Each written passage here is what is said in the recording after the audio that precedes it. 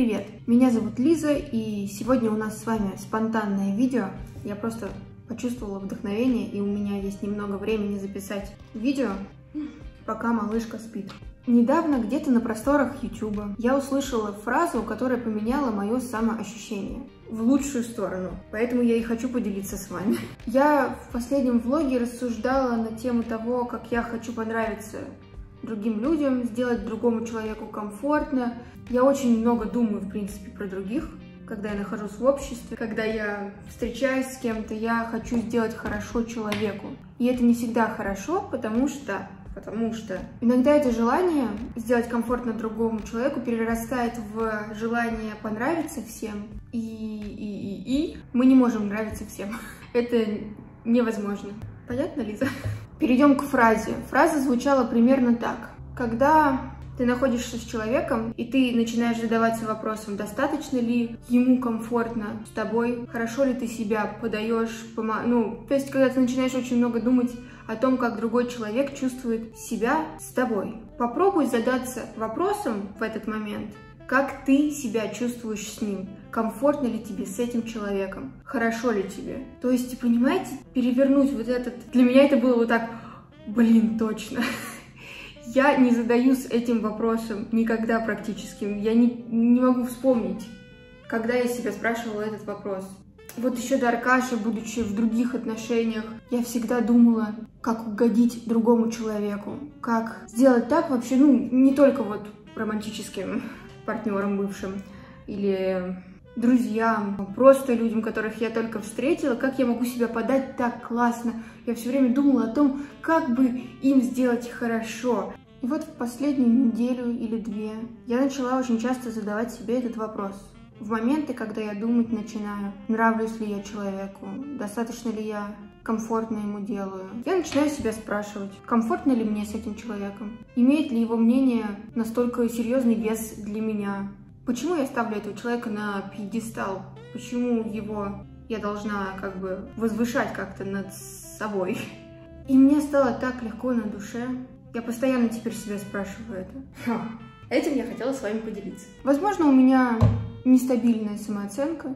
Но да, у меня сидели такие червяки, тараканы в голове, которые всегда пели одну и ту же песню о том, что вот, надо хорошо всем вокруг делать, чтобы всем было комфортно. И не поймите меня неправильно, я люблю в себе это качество, я люблю делать другим людям хорошо, я люблю приносить э, позитив, я люблю, когда человеку комфортно со мной, я люблю, когда я могу рассмешить людей. Я, в принципе, люблю сцену, знаете, я такая актриса по жизни.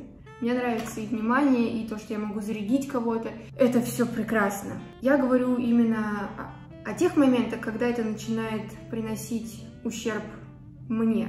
Когда это уже прям нездоровое желание сделать всем всегда хорошо, забывая про себя. Понимаете? Да? Да. И, наверное, когда ты задаешь себе такие вопросы в голове в моменте, когда чувствуешь себя немного так, М -м, хорошо ли другому человеку со мной, это помогает меньше думать, в принципе, о мнении людей других насчет тебя и насчет того, что ты делаешь. Ведь на самом деле все люди думают чаще всего про себя и свое собственное самоощущение, и свою жизнь, свои проблемы. Они могут ненадолго подумать о тебе, сказать что-то гадкое, либо что-то хорошее, и все, дальше двигаются, жизнь такая. И нужно делать то, что делаешь ты, и то, что приносит тебе как бы счастье в рамках разумного, понятное дело. Чем больше я начинаю смотреть внутрь себя, тем счастливее я. Чем больше я начинаю спрашивать вопросов, почему я себя так чувствую здесь, почему мне сегодня нехорошо, почему я так отреагировала, почему я, почему, почему, почему. Я постоянно задаю себе очень много вопросов. И я знаю всегда ответы. Что самое интересное, мы знаем ответы часто. Ну вот, да. Так что задавать вопросы это очень, очень классная тема, ребята. Задавать вопросы самому себе. Я не психолог, не психотерапевт, не какой-то духовный наставник, я просто Лиза, которая делится своими собственными мыслями. На данный момент они такие. Вообще здоровый пофигизм это хорошо, мне кажется. К чему это я? А, к тому, что вот с материнством у меня выработался он. Я хорошо очень начала выстраивать свои границы. Это, может быть, и не связано с материнством, просто у меня в последнее время реально какое-то... я очень изменилась, я не знаю, как это объяснить. У меня все... Я будто бы расширилась. Я стала больше, то есть я чувствую больше изобилия в жизни, я чувствую больше энергии, я чувствую, как я сильно изменилась в лучшую сторону, как я не останавливаю сама себя от хорошего. Я чувствую собственное как бы изобилие, я себя не стискиваю обратно в размер, который мне уже не подходит. То есть сейчас я чувствую, что я стала вот намного больше. И мне уже не подходят те мысли, те предрассудки, которые были в этом размере. И сейчас я уже здесь. И когда я замечаю вот эти вот мысли, они отпадают. Раньше я себя сама очень много сковывала и не давала быть себе всем тем, чем я являюсь. По крайней мере, на данной стадии. Мы все меняемся постоянно. Это в данный момент, сейчас. Я так себя чувствую. Я так говорю, потому что я через э, год посмотрю это видео, и будет уже совсем, совсем другие мысли.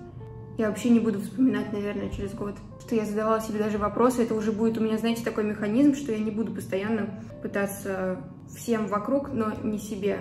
Будем заканчивать небольшой такой выпуск наш, Елизавета. Я желаю вам всего хорошего. Пока!